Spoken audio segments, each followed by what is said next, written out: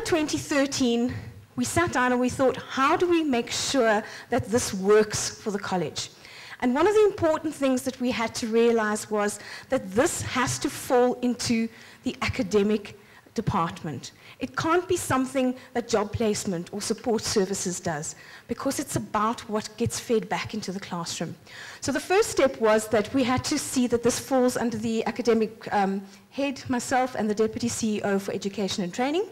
And we set targets, and these targets were part of our strategic planning for the year. And we then tasked this um, meeting the targets to our program heads for each particular department.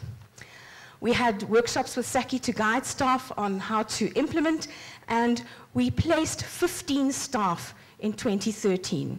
What we said to staff was that initially when we planned our program, we had a prospective large employers who would take a large number of lecturers. And unfortunately, that didn't pan out.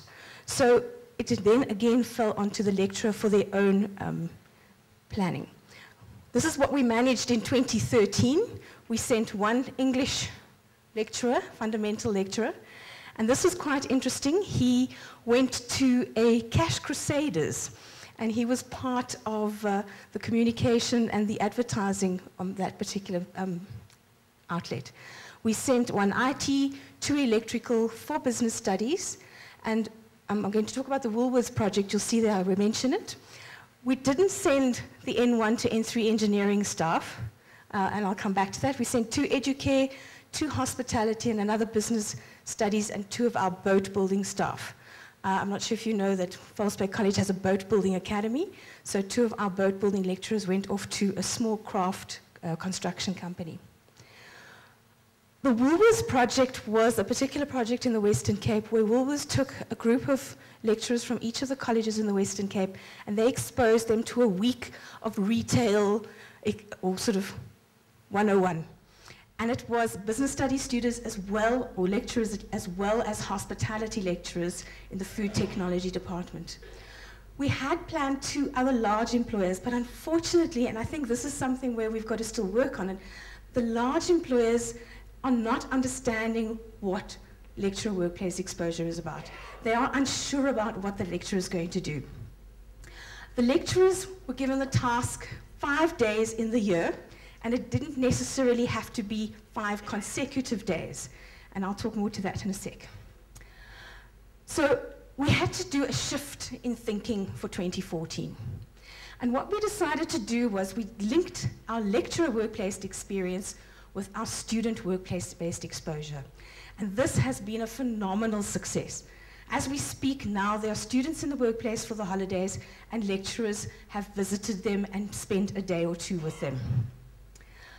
The advantage here is that we are finding when you come back into the classroom, the lecturer can say to the student, when we saw that in industry, and immediately now both the lecturer and the student has that industry experience and it's feeding back into what's happening in the classroom. The academic departments take the lead in meeting their LWE targets as well as their WBE targets. And the program heads are now able to start establishing the relationships with the particular industry players. So, for example, I'm going to use our boat building academy as an example. They have now a very good relationship with three or four boat building companies in the Western Cape. So when those boat building companies now need students, they have a person, a contact person that they will phone because they know now who the lecturer is. Um, we meet on a quarterly basis and, and report on our progress.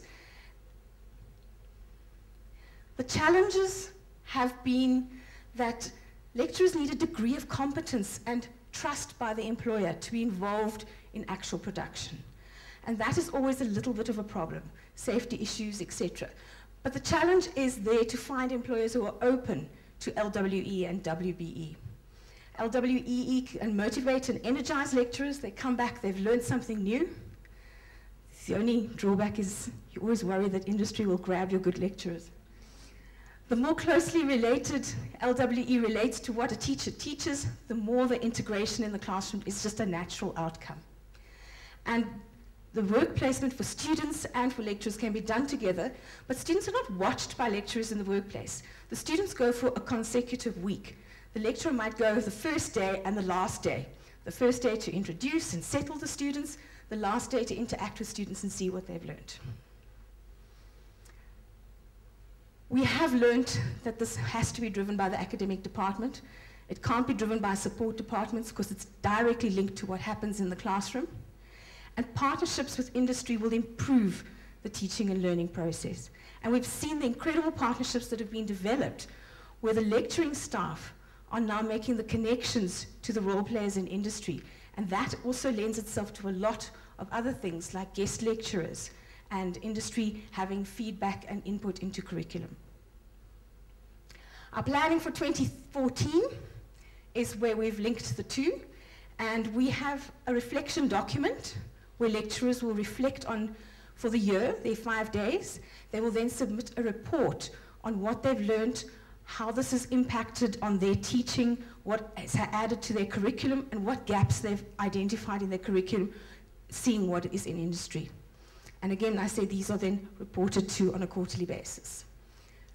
We've been ambitious for this year, and we are planning to send 45 staff into industry. At the moment, four have already completed, and I think there are about 12 that are currently in this week in industry.